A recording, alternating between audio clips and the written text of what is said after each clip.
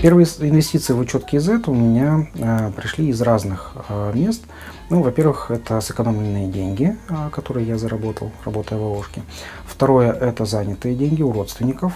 И третье, это продажа, собственно, автомобиля.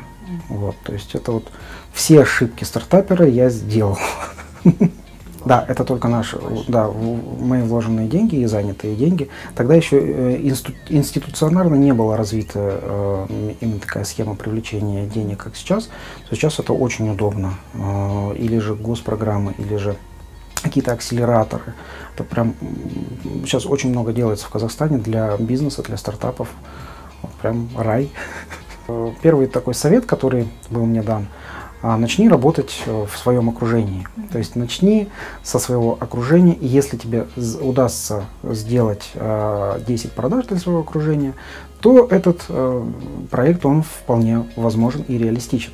Не создавать сначала продукт, а попробовать свою теорию на обычном лендинге, потратить какую-то небольшую сумму в рекламу, и тогда уже будет видно количество продаж, и а, уже исходя из этого можно будет делать какие-то выводы и или же а, стартап развивать, ну или же это будет стартдаун. Я думаю, что не обязательно быть человеком из отрасли, а, чтобы развить какой-то бизнес. Главное, что у тебя внутри.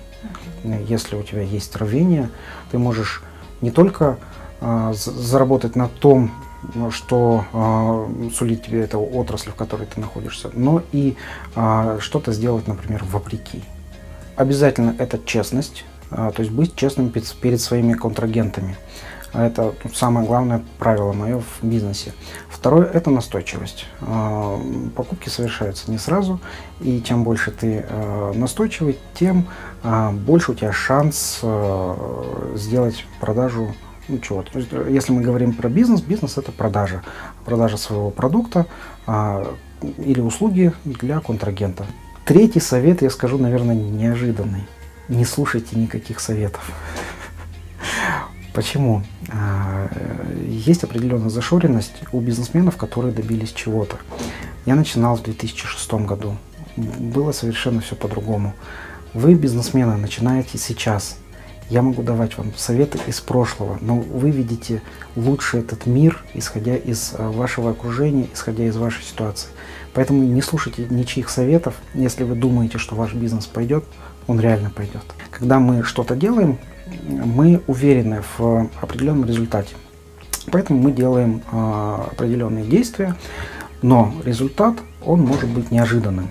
И когда э, от определенных действий получается неожиданный результат, многие называют это ошибкой. Я же называю это результатом, но он не тот, который ожидал.